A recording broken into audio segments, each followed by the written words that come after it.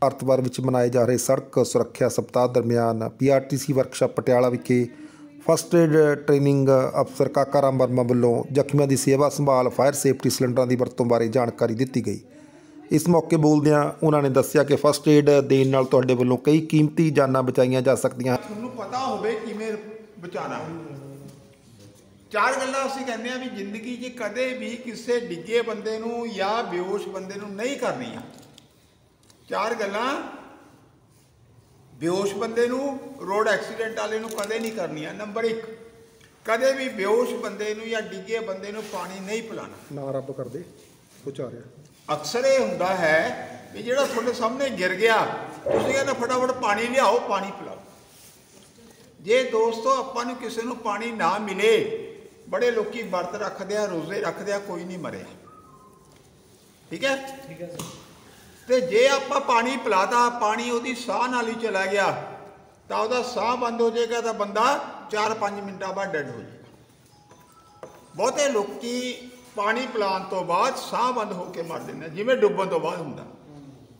ਤੋਂ ਪਹਿਲਾਂ ਤਾਂ ਦਿਮਾਗ 'ਚ ਬਿਠਾਓ ਜਿਹੜਾ ਤੁਹਾਡੇ ਸਾਹਮਣੇ ਡਿੱਗਿਆ ਪਿਆ ਹੈ ਤੁਹਾਡਾ ਆਪਣਾ ਹੈ ਬਗਾਨਾ ਹੈ ਉਸ ਨੂੰ ਪਾਣੀ ਨਹੀਂ ਨੰਬਰ 2 ਕਦੇ ਵੀ ਉਹਨੂੰ ਸਿੱਧਾ ਨਹੀਂ ਪਾਣਾ ਪਿੱਠ ਭਾਰ ਸਿੱਧਾ ਨਹੀਂ ਪਾਣਾ ਕਿਉਂ?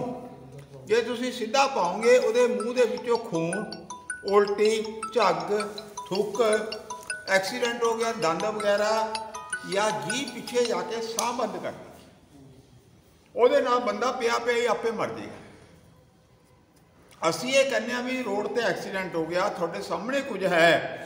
ਤੁਸੀਂ ਉਸ ਬੰਦੇ ਨਾਲ ਇੰਨੀ ਕੁ ਹਮਦਰਦੀ ਰੱਖਦੇ ਹੋ, ਯਾਰ ਬਚ ਬਚ ਜੇ। ਚੈੱਕ ਕਰੋ, ਇਹਦਾ ਸਾਹ ਠੀਕ ਆ ਰਿਹਾ? ਕਿਵੇਂ ਪਤਾ ਲੱਗੇਗਾ? ਸਾਰੇ ਜਣੇ ਦੋ ਉਂਗਲਾਂ ਆਪਣੇ ਨੱਕ ਤੇ ਰੱਖੋ। ਕਰੋ ਬਈ। ਦੋ ਉਂਗਲਾਂ ਨੱਕ ਤੇ ਰੱਖੋ, ਸਾਹ ਬਾਹਰ ਕੱਢੋ। ਹਾਂਜੀ। ਤੁਹਾਨੂੰ ਗਰਮ ਗਰਮ ਹਵਾ ਲੱਗੀ। ਅਸੀਂ ਤਾਂ ਕਹਿੰਦੇ ਹਾਂ ਹਲਾਇਆ ਜਲਾਇਆ ਸੀਗਾ, ਲੇਕਿਨ ਹਿੱਲਿਆ ਨਹੀਂ ਦਾ ਮਤਲਬ ਸ਼ਹਿਰ ਮਰ ਗਿਆ।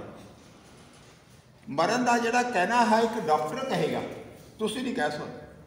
ਤੋ ਸਾਹ ਚੈੱਕ ਕਰੋ ਦੋਸਤੋ। ਇਹ ਫਾਰ ਇਹ में ਮੂੰਹ ਖੋਲ ਕੇ ਦੇਖੋ। ਮੂੰਹ ਸਾਈਡ ਤੇ ਕਰੋ। ਸੈਕੰਡ ਬੀ ਬਰੀਥਿੰਗ ਇਸ ਤੋਂ ਬਾਅਦ ਬਲੀਡਿੰਗ ਫਿਰ ਚੈੱਕ ਕਰੋ ਬੋਡੀ 'ਚ ਕਿਤੇ ਖੂਨ ਤਾਂ ਨਹੀਂ ਆ ਰਿਹਾ। ਜੇ ਬੋਡੀ 'ਚ ਕਿਤੇ ਖੂਨ ਆ ਰਿਹਾ ਦੋਸਤੋ ਤੁਹਾਡੇ ਕੋਲ ਪਟਕਾ ਹੈ ਰਮਾਲ ਹੈ, ਚੁੰਨੀ ਆ, ਕੁਝ ਵੀ ਆ। ਫਟਾਫਟ ਲਿਆ ਕੇ ਉੱਥੇ ਸਾਰੀ ਗੱਡੀ 'ਚ ਇੱਕ ਫਸਟ ਏਡ ਬਾਕਸ ਰੱਖੋ। ਸ਼ਾਇਦ ਕਿਤੇ ਕੰਮ ਆ ਜੇ ਯਾਰ। ਪਰ ਫਸਟ ਏਡ ਬਾਕਸ ਤਾਂ ਹੈਗਾ, ਵਰਤਣਾ ਨਹੀਂ ਆਂਦਾ ਹੈਨਾ ਹਥਿਆਰ ਉਹੀ ਆ ਜਿਹੜਾ ਚਲਾਣਾ ਆਂਦਾ ਹੋਵੇ। ਕਿਉਂ ਸਾਹਿਬ? ਉਸ ਤੋਂ ਬਾਅਦ ਹੈ, ਜੇ ਨੱਕ ਮੂੰਹ ਜਾਂ ਕੰਨ 'ਚੋਂ ਖੂਨ ਆਵੇ ਹਾਂਜੀ ਕਾਕਾ ਜੀ ਮੋਬਾਈਲ ਬੰਦ ਕਰ ਦਿਓ ਓਏ। ਬੰਦ ਕਰ ਲੈ। ਯਾਰ ਸੁਣ ਲਓ। ਬੜਾ ਇੰਪੋਰਟੈਂਟ ਗੱਲ ਦੱਸਣ ਲੱਗਿਆ ਜੇ ਨੱਕ ਮੂੰਹ ਜਾਂ ਕੰਨ 'ਚੋਂ ਖੂਨ ਆਵੇ ਦੋਸਤੋ ਕਦੇ ਵੀ ਬੰਦ ਨਹੀਂ ਕਰਨਾ। ਹੁਣ ਇਹ ਬੱਚਾ ਹੈ ਗਿਰ ਗਿਆ ਜਾਂ ਬੀਪੀ ਵੱਧ ਗਿਆ ਨੱਕ 'ਚੋਂ ਖੂਨ ਆ ਰਿਹਾ। ਮੈਂ ਇਹਦਾ ਨੱਕ ਜਾ ਕੇ ਬੰਦ ਕਰ ਦਿੰਦਾ ਖੂਨ ਦੇਖ ਕੇ। ਖੂਨ ਦੇਖ ਕੇ ਡਰ ਜਾਂਦੇ ਆ। ਤਾਂ ਉਹਦੇ ਨਾਲ ਕੀ ਹੋਏਗਾ? ਨੱਕ 'ਚੋਂ ਖੂਨ ਨਿਕਲਣਾ ਬੰਦ ਹੋ ਜਾਏਗਾ। ਅੰਦਰੋਂ ਚੱਲਦਾ ਰਹੇਗਾ। ਬੰਦ ਨਹੀਂ ਹੋਏਗਾ? ਅੰਦਰਲਾ ਰਸਤਾ ਬੰਦ ਕਰਤਾ ਤੁਸੀਂ। ਬੜੀ ਇੰਪੋਰਟੈਂਟ ਗੱਲ ਆ। ਫਿਰ ਇਹ ਖੂਨ ਵਾਪਸ ਜਾਏਗਾ। ਵਾਪਸ ਇਹ ਦੋ ਥਾਂ ਤੇ ਜਾਏਗਾ, ਜਾਂ ਤਾਂ ਦਿਮਾਗ 'ਚ ਜਾਏਗਾ, ਜਾਂ ਸਾਹ ਨਾਲੀ 'ਚ ਜਾਏਗਾ।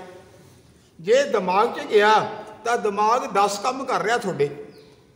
ਤੁਹਾਡਾ ਅੱਖਾਂ ਦੇਖ ਕੇ ਦਿਮਾਗ ਨੂੰ ਦੱਸ ਰਹੀਆਂ ਵੀ ਮੈਨੇ ਨੀਲਾ ਕੋਟ ਪਾਇਆ।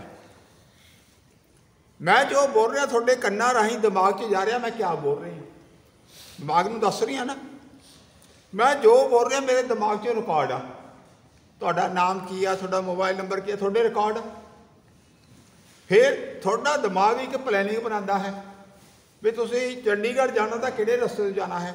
ਇੱਥੇ ਟੋਲ ਆਏਗਾ, ਇੱਥੇ ਬ੍ਰੇ ਉਹ ਆਏਗਾ ਸਪੀਡ ਬ੍ਰੇਕਰ ਪਤਾ ਨਾ? ਦਿਮਾਗ 'ਚ ਹੈ। ਫਿਰ ਤੁਹਾਡੀਆਂ ਲੱਤਾਂ ਬਾਹਾਂ ਦਿਮਾਗ ਚਲਾ ਰਿਹਾ। ਹੈ ਨਾ? ਤੁਸੀਂ ਤੁਰ ਰਹੇ ਹੋ, ਤੁਹਾਨੂੰ ਦਿਮਾਗ ਨੇ ਕਹਿਣਾ ਵੀ ਇੰਨਾ ਕੁ ਸਟੈਪ ਚੱਕ। ਤੋ ਜੇ ਦੋਸਤੋ ਦਿਮਾਗ ਦੇ ਵਿੱਚ ਖੂਨ ਜੰਮ ਗਿਆ, ਤਾਂ ਬੰਦਾ ਜਾਂ ਤਾਂ ਕੋਮੇ ਚਲਾ ਜਾਏਗਾ। ਜਾਂ ਦਿਮਾਗ ਦਾ ਕੋਈ ਹਿੱਸਾ ਕੰਮ ਕਰਨਾ ਬੰਦ ਕਰ ਦੇਗਾ। ਇਸੇ ਕਰਕੇ ਅਸੀਂ ਕਹਿੰਦੇ ਆ ਵੀ ਸੜਕਾਂ ਤੇ ਚੱਲਦੇ ਹੋਏ, ਸਕੂਟਰ, ਮੋਟਰਸਾਈਕਲ ਚਲਾਉਂਦੇ ਹੋਏ ਹੈਲਮਟ ਪਾ ਲਓ।